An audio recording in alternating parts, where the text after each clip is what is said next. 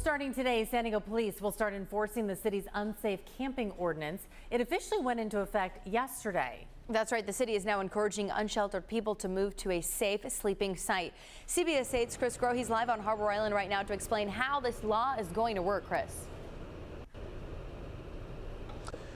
And so this is a day that many have had, uh, again, uh, a real focus and attention paid to, waiting to see exactly how this enforcement will begin. And it does look like the city, as they have communicated, will be starting on focusing in areas in which parks and schools are nearby. Now, as for the unsafe camping ordinance as a whole, the way that this is working is that it prohibits tent encampments in all public spaces throughout the city if shelter beds are available.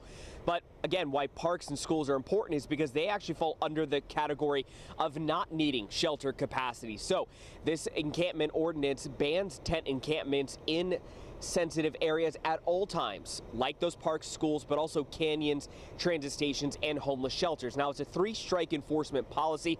The first is a warning, the first encounter. The second encounter is a misdemeanor citation, and finally, an arrest if someone doesn't comply.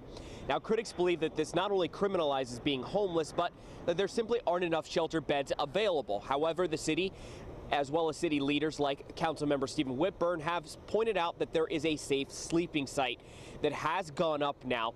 It is meant to house about 136 tents, but as of earlier this month, only 28 people were staying in about 21 tents. But it is available right now, and the city is trying to lead people to go ahead and stay there versus on the streets. Now, some adjustments have also been made to the site.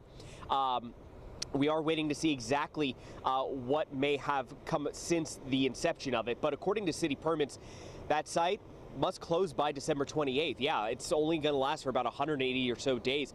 A spokesperson for the mayor told us that it was always meant to be a short-term solution, and there is a second location that is coming up that will hold about 400 tents, but that hasn't opened up just yet. So people are waiting to see exactly when there may be new shelter beds made available here in the city of San Diego.